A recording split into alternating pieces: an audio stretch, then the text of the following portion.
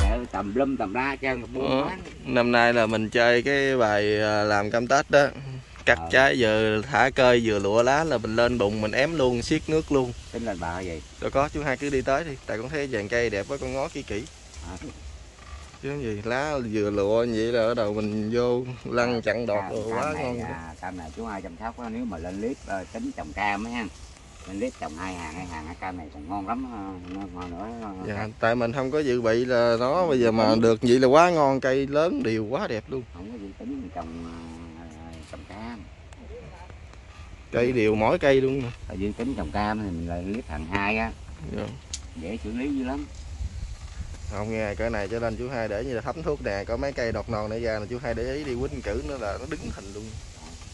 Quýnh cử chặn đọt nó cứ sao chặn ba chai bên kỹ thuật này nọ thì do khang thôi cái đường nào thứ hai con.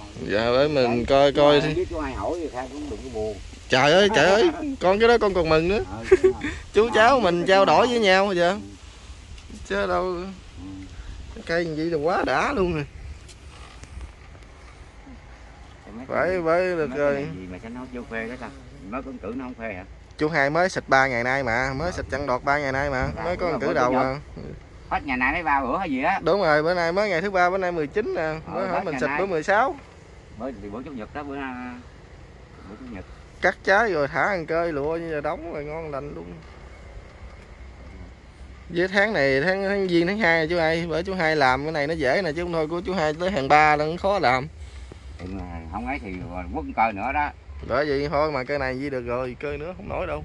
Quất coi nữa là tới tháng gán xịt ba bộ lá non là dễ giữ chú hai. Ừ, ba cái cây non á. Chú hai thịt dữ lắm luôn chứ mấy cây ờ, mầm già thì khỏi nói ba bộ lá non này nè lá lụa này nè. Chú hai thịt là an tâm đi. Rồi dạ. Có thịt là